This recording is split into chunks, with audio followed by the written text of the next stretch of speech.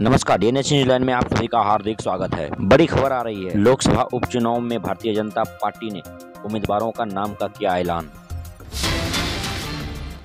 दादरा नगर हवेली में 30 अक्टूबर को होने वाले लोकसभा उपचुनाव के घोषणा के बाद सभी की नज़र भारतीय जनता पार्टी पर थी कि आखिर भारतीय जनता पार्टी से किसको टिकट मिलेगी।